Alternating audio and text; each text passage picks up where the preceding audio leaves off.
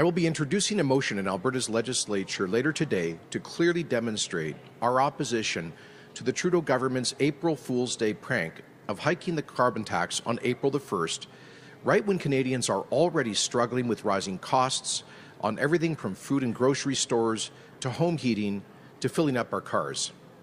These aren't optional expenses or luxuries that folks can do without. These are basic costs that people have when they uh, live, work, and raise their family in this cold northern country. Trudeau's carbon tax hike is another body blow to Albertans, taking money right out of our pockets and sending it to Ottawa when we can least afford it. And that's why Alberta's legislature will be debating and I hope passing unanimously the following motion. Quotes, be it resolved that the Legislative Assembly call on the Government of Canada to stop its planned April 1, 2022 increase of the carbon tax to $50 per tonne and further plan to quadruple the carbon tax to $170 a tonne, given that Canadian families are struggling with the highest inflation in 30 years. The federal government's tax hikes and huge deficits have driven up inflation. For years, the problem's been getting worse. We've already seen prices explode on grocery shelves caused by rampant inflation on food and other basic necessities. Grocery stores have been facing higher and higher costs on the things they need to get food on their shelves.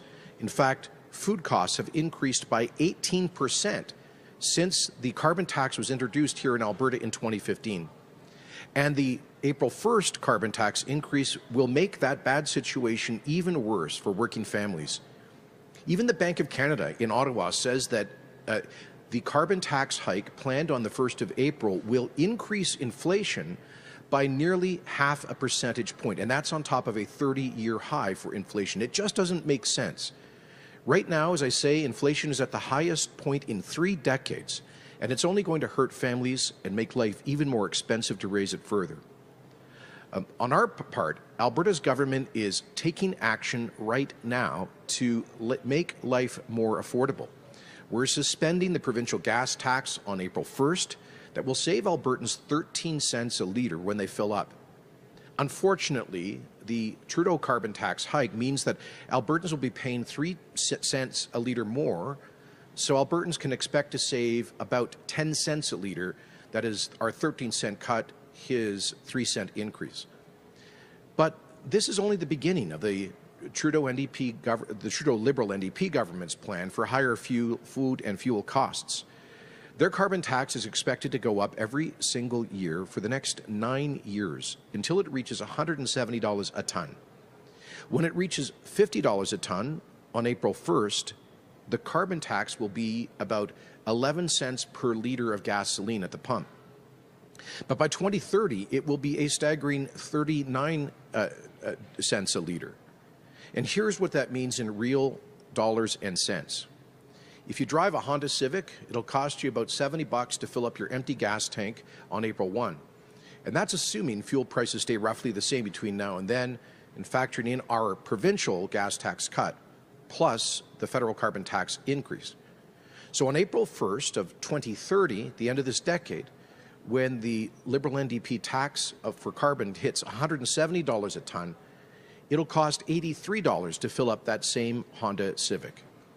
For a middle class family earning $70,000 a year, the carbon tax will add $600 of direct and indirect annual costs when it reaches $50 a ton in just a few days.